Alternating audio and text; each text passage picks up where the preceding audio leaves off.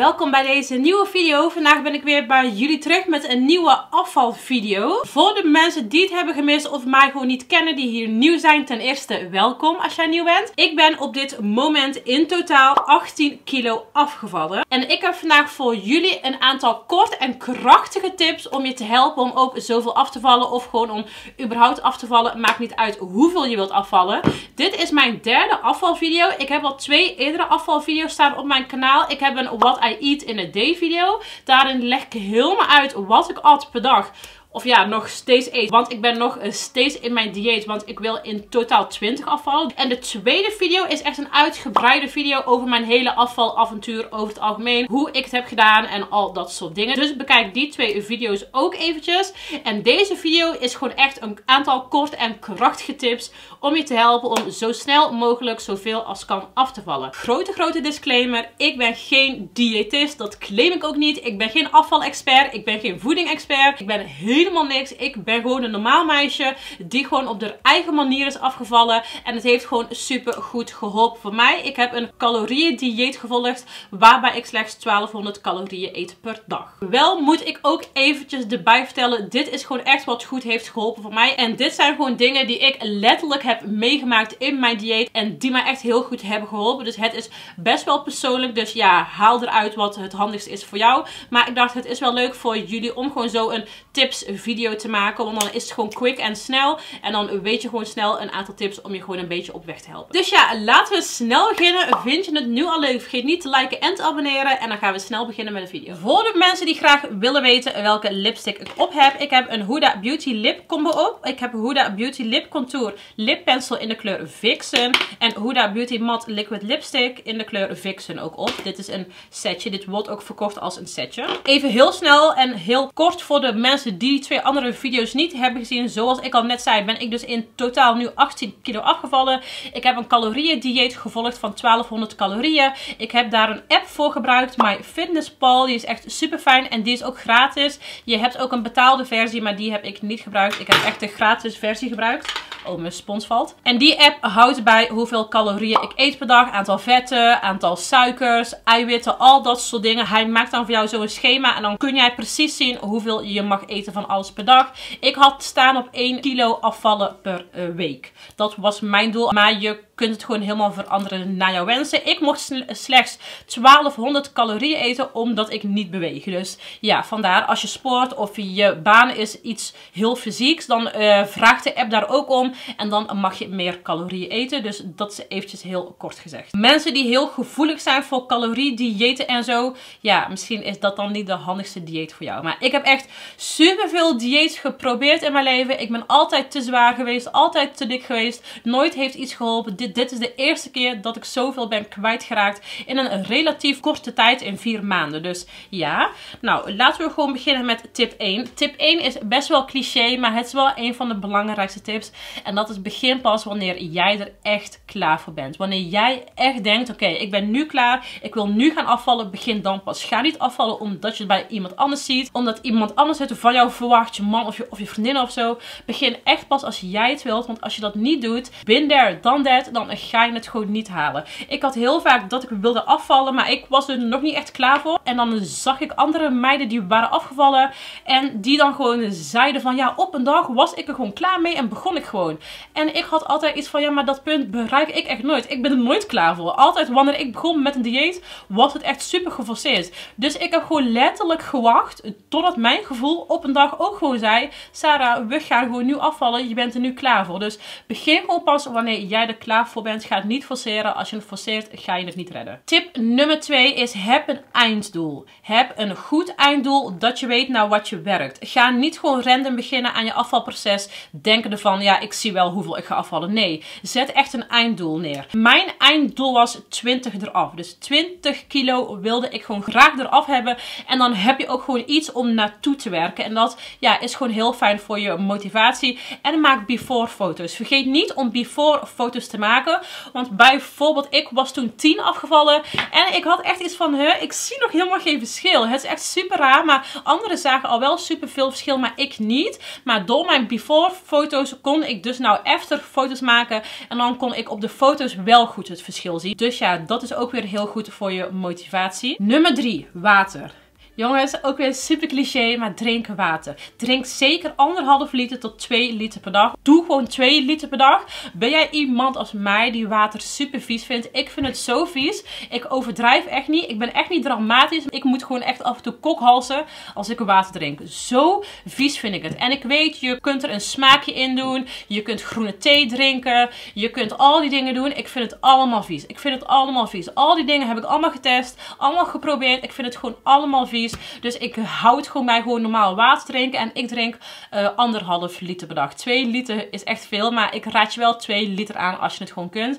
Ik doe anderhalf liter echt al met moeite. Oh mijn god, ik vind het zo vies. Maar je gaat echt super veel verschil merken. Want ik had ook af en toe een tijd dat ik minder water dronk en me er niet aan hield. En ik zag het ook aan de weegschaal. Ik viel echt minder af. Plus, het helpt met je hongergevoel. Op de een of andere manier, ik weet niet of het wetenschappelijk is bewezen, maar ik ervaarde het echt zeker zo, dat wanneer ik veel water dronk in één keer, dat dan ook mijn hongergevoel echt werd onderdrukt. Dus ja, dat is ook heel fijn als je op dieet bent. Nummer 4 is intermittent fasting. Intermittent fasting heb ik gedaan, doe ik nu nog steeds. En ja, als je echt heel goed wilt weten wat het precies is, zoek het gewoon even op online intermittent fasting. Maar ja, gewoon even heel kort gezegd, het is gewoon periodiek vasten. Dus een aantal uur per dag niet eten. Ik heb de cliché intermittent fasting. Dat is 8 uur eten, 16 uur niet eten. Maar je hebt heel veel verschillende versies van intermittent fasting. Maar die ik deed is de meest gebruikte en ook de meest makkelijke. Dat houdt in dat ik eet van 12 tot 8. 12 uur middag tot 8 uur s avonds. Vanaf 8 uur s avonds eet ik niks meer tot de volgende dag 12 uur. Dus ik eet ook geen ontbijt. Ik weet dat ontbijt is een beetje een gevoelig onderwerp. Heel veel mensen zeggen ja, maar ontbijt is super belangrijk. Ik ben geen ontbijter, als ik het zo kan zeggen. Ik heb nooit ontbeten. Ook niet toen ik niet op dieet was. Ik ontbijt gewoon letterlijk nooit, want ik heb gewoon geen honger in de ochtend. Dus intermittent fasting was heel makkelijk voor mij, omdat ik al niet ontbijt. Dus als je dan heel wat hebt gevast, dan mag je om 12 uur dus beginnen met je lunch. Waardoor je dus gewoon ook minder calorieën eet. En als je een langere periode niet eet, dan gaat jouw lichaam ook vet verbranden. Dus dat is allemaal heel erg goed als je wilt afvallen. Let wel op, ik had dus nooit honger in de ochtend. Maar omdat ik dus toen ineens ook vanaf 8 uur s avonds niet meer at, begon ik wakker te worden met honger. Wat deed ik toen? Veel water drinken om dat hongergevoel te onderdrukken. En ik was gewoon altijd iets aan het doen in de ochtend, zodat ik was afgeleid en geen honger had. Nummer 5 is een tip die echt best wel belangrijk was. Speciaal ook echt voor mij. Omdat ik best wel een zoete kou, zoete kou, zoete kou, zoete kou, wat is het? Een zoete kou ben volgens mij. En dat is geen snoep, geen gebak, geen taart, niks, geen snacks. Gewoon niet doen. Ik had ook geen cheat day. Heb ik gewoon niet. Heb ik nooit gedaan. Ik altijd gewoon niet. Ik weet dat er mensen zullen zijn die nou misschien denken van Sarah, je kunt echt wel af en toe een snoepje eten. Of af en toe een taartje. Of af en toe gewoon hè, een lekker snackje. Nee. No. Voor mij persoonlijk kon dat gewoon echt niet. Er zijn vast wel mensen die dat gewoon prima handelen. Dan doe het vooral. Mensen als mij, doe het niet. Want ik raak weer gelijk terug in mijn zin naar snoep, zin naar suiker. Bij mij is dat gewoon echt zo heftig dat ik ook gewoon niet eens één keer een snoepje kon eten. Want ja, ik viel echt weer gelijk helemaal terug. Dus mensen die echt heel erg houden van suikers, van zoetige dingen, snoepjes, dat soort dingen zoals mij, doe het gewoon niet, niet eens één keer. Nummer 7 is dus als je intermittent fasting doet, dan begin je dus je dag met lunch, maar hou je lunch licht. Ga niet denken, oh ik heb nou superveel honger, want ik heb mijn ontbijt overgeslagen. Ik ga een super grote lunch eten. Nee, hou het tussen de 200 en de 300 calorieën en dat is echt heel erg licht. In mijn What I Eat in a Day laat ik ook een aantal opties zien qua lunch. Ik eet ook vaak zo'n vla, zo'n hele pot vla. Die is best wel veel en best wel machtig, maar heel erg laag in calorieën. Dus zo'n lunch is echt ideaal. Dus hou je lunch heel erg licht, echt maximaal 300 calorieën. Tip nummer 8 is probeer te bewegen. Mijn hele afvalproces heb ik gedaan met alleen maar een dieet. Ik sport niet. Als ik één ding haat is het sporten. Ik ben echt geen sporter. I cannot. maar probeer wel alsnog gewoon te bewegen zoveel als kan. Bijvoorbeeld pak de trap in plaats de lift. Dat soort dingetjes. Gewoon kleine uh, bewegingen die je gewoon extra kunt doen per dag, doe het. In het begin van mijn dieet was het echt zomer en zon en zo. En toen ben ik ook heel vaak gewoon gaan wandelen. Wandelen is gewoon heel makkelijk. Hardlopen, rennen is allemaal heel intensief, heel zwaar. Maar gewoon wandelen, dat soort dingen. Dus probeer gewoon zoveel als kan te bewegen. Nummer 9 is iets waar denk ik heel veel mensen blij mee gaan zijn. Dat was ik ook en dat is cola zero. Ik heb mijn hele dieet gewoon cola zero gedronken. Ik dronk of course geen andere frisdrank. Geen cola, geen Fanta, geen Sprite. Dat is allemaal super veel suikers. Cola Zero heb ik gewoon mijn hele dieet gedronken. En het is echt ideaal om toch iets zoets te kunnen drinken. Toch wel het frisdrank effect te hebben zonder dat je aankomt. Cola Zero is wel slecht op andere gebieden. Uh, er zit asporaan in of aspartaan of hoe het ook heet, ik weet niet. En dat is niet heel erg goed voor je lichaam. Maar het heeft in ieder geval niks te maken met afvallen en aankomen. Dus Cola Zero is gewoon iets wat ik mijn hele dieet heb gedronken. En wat mij ook echt hielp met mijn drang naar zoetigheid. Daardoor werd die drang een beetje gevuld. En dan was die weg. Dus ja, dat heb ik gewoon mijn hele dieet gedaan. Tip uh, nummer 10 is houd de vaste eettijden aan. Dat vond ik heel erg fijn. Want dan wist ik gewoon van oké, nou eet ik gewoon niet en nou eet ik wel. Dus als ik dat niet deed en ik had geen vaste eettijden. Dan was ik gewoon de hele dag door aan het eh, denken aan eten. En zal ik nu eten of niet? En dit, dat, bla bla. Maar als je gewoon een vast schema aanhoudt, dan is dat gewoon veel makkelijker voor je hoofd. Bijvoorbeeld, ik had om 12 uur lunch, om 3 uur een snack, om 5 of 6 uur avondeten en dan rond 7 uur nog een snack. De laatste 7 uur snack sloeg ik ook af en toe over, gewoon want dan had ik gewoon geen behoefte. Maar ik had dus 12 uur, 3 uur, 5 slash 6 uur en 7 uur. Dus op die manier weet ik ook gewoon, dan is mijn hoofd ook gewoon leeg. En dan ga ik niet om half 2 ineens denken van, hmm, zal ik nou iets gaan eten of niet. Anders ben je de hele dag door bezig met je dieet. En dat vond ik persoonlijk niet heel fijn. Dus voor mij hielp dit echt. Nummer 11. En dat is eet alles in light en mager variant. Als je van iets een magere variant hebt. Zoals kaas, light, runder gehakt, mager. Dat soort dingen. Overal waar je een light of een mager variant van hebt koop dat, eet dat, want dat is gewoon ja, ook weer goed voor je dieet. Dan consumeer je ook weer minder vetten en dat soort dingen. Tip nummer 12 en dat is gewoon blijf zoveel mogelijk thuis. Ik begon met mijn dieet midden in corona, midden in de quarantaine. Die echte, toen echt alles gesloten was en je echt niks kon doen en iedereen letterlijk thuis zat. Dus voor mij was het best wel makkelijk. Nou is het wat moeilijker omdat je nou van alles kunt doen. Maar blijf zoveel mogelijk thuis als kan. Omdat dan kun je je gewoon echt houden aan je schema. En dan gaat je dieet veel makkelijker en beter. Wanneer ik wegging, begon ik te merken dat ik me niet meer zo goed hield aan mijn schema. Ik dronk minder water. Ik at slechter, want je gaat uit eten en dan eet je ook weer slechter. En dat soort dingen, dat is gewoon menselijk. Want dan ben je gewoon helemaal druk in de weer met van alles. En dan kun je je niet meer goed aan je schema houden. Dus voor mij werkt het heel goed als, als ik gewoon zoveel mogelijk als kan thuis blijf. En dan gewoon mij kan focussen aan mijn, uh, op mijn dieet en aan mijn schema. Tip nummer 13 is eet eet uh, groente en fruit als snacks. Wil jij een lekker snackje? Fruit en groente. Vooral groente is super gezond. Met fruit moet je wel een beetje opletten, want in fruit zit gewoon suikers. Het zijn natuurlijke suikers, maar het blijven toch suikers. Jouw lichaam gaat geen verschil zien. Jouw lichaam ziet niet verschil in snoep of fruit. Het is gewoon allemaal suikers. Dus je wordt er allemaal dik van. Dus let op met fruit. Ga niet denken, oh fruit is gezond. Ik ga superveel fruit eten de hele dag.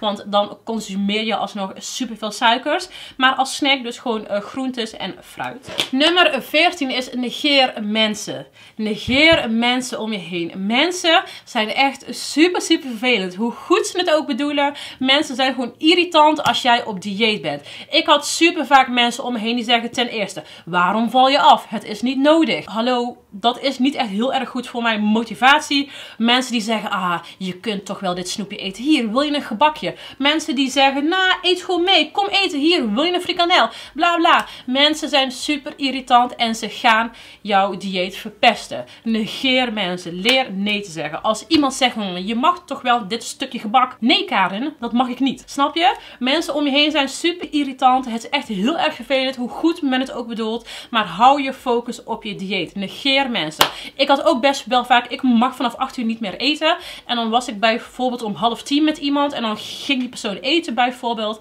En dan dwingt die persoon mij een soort van om ook te eten. En denk van nee, ik mag na 8 uur niet meer eten. En dan moet je die persoon dat helemaal gaan uitleggen. En 9 van de 10 keer gaan ze jou niet begrijpen. En vinden ze het overdreven en vinden ze het onzin. En ook voor de mensen die zo zijn. Ik praat nu ook met jullie. Als iemand om je heen op dieet is, help die persoon. Motiveer die persoon. Ook al vind jij het onzin, ook al vind jij het overdreven, die persoon vindt dat niet. Dus help die persoon gewoon in zijn proces of hou gewoon je mond dicht. Een van de twee. Nummer 15 is niet te weinig eten. Sla ook weer niet door. Als jij te weinig gaat eten dan gaat jouw lichaam in paniekstand en dan gaat die vetten vasthouden. Ik sloeg een week helemaal door. Ik dacht, nou, het gaat zo erg goed. Ik val veel af. Dat ik dacht, weet je wat, ik kan mijn lunch ook al overslaan. Ik wilde gewoon meer afvallen, nog sneller afvallen. En toen heb ik die hele week gewoon mijn lunch overgeslagen. Waardoor ik alleen maar avondeten at en snacks. Die week ben ik ook gewoon bijna niet afgevallen. Ik zag letterlijk verschil op de weegschaal. Ik viel gewoon minder af. En toen had ik iets van, ja, kijk, zie je, mijn lichaam gaat gewoon in die, uh, in die paniekstand. En heeft gewoon mijn vetten vastgehouden. Waardoor ik gewoon nou niet ben afgevallen. De week erop heb ik gewoon weer normaal gedaan. En toen viel ik gewoon weer af. Het lichaam is een heel raar iets. Het is allemaal een heel raar proces. Afvallen is gewoon een heel moeilijk proces. Het is gewoon niet 1 plus 1 is 2. Je moet eten, maar ook weer niet te veel. Maar ook weer niet te weinig. En dit, dat, bla bla. Je moet gewoon, ja, het is allemaal gewoon een beetje moeilijk. Maar sla niet door en ga niet te weinig eten. Want dan sla je ook weer de plank mis. En het is niet gezond. En de laatste tip, tip nummer 16 is in het begin ga je vocht verliezen. Week 1 viel ik bijna 4 kilo af. Het meeste was ook vocht. Week 2 viel ik er 2 af en week 3 viel ik er 1 af. Raak niet gedemotiveerd, want het eerste is allemaal vocht. Je gaat de eerste week of twee weken misschien, ik had het alleen maar bij week 1, verlies je ineens superveel. Omdat je ineens drastisch verandert van hoe je eet en zo. Dat je gewoon ineens superveel verliest en superveel vocht verliest. Dus let op dat je in het begin meer zult verliezen dan later. Maar dat komt door alle vocht en dat soort dingen. Dus raak door dat zeker niet gedemotiveerd. Nou mensen, dit waren dan mijn 16 tips die mij echt heel erg goed hebben geholpen met mijn dieet. Ik ben 15 kilo afgevallen in 4 weken. Ik ben nog nooit... Uh, 4 weken, wow, dat is wel heel snel. Ik bedoel in 4 maanden. Ik ben nog nooit zo blij geweest met mijn lichaam. Dit was echt de beste beslissing ever. En ik voel me echt veel beter in mijn vel dan toen ik nog wat voller was. Dus ik ben super, super blij dat ik dit heb gedaan. En ik hoop dat ik iedereen die ook wil afvallen een beetje heb geholpen om het allemaal wat, ja, wat makkelijker te maken. Heb jij nou ook nog heel veel tips? Laat het ons weten beneden in de reacties. Want zo kunnen we elkaar allemaal met z'n allen helpen. Nou, vond je de video leuk? Vergeet niet te liken en te abonneren. Ik plaats hier ook nog twee video's in beeld die je ook kunt gaan bekijken. En mijn gezicht hierboven om te abonneren. En dan hoop ik jullie weer snel terug te zien bij de volgende video. Doei doei!